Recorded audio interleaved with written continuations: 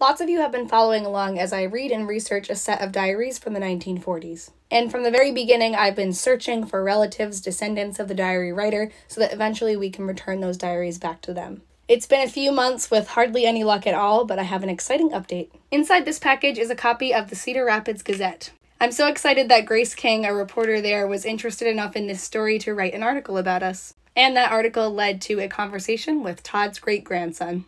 For now, let's just open up the package. I've already read the article online and I linked that on my website if you want to read it, but I definitely wanted a hard copy of it too to frame. And we made the front page. That's so exciting. And then it continues. There's so much story here. They um, actually talked to Todd's great grandson and got some of his input and his stories. And then afterwards, we connected and we had a great conversation, which I'll tell you more about later. We've got a picture of the diaries here.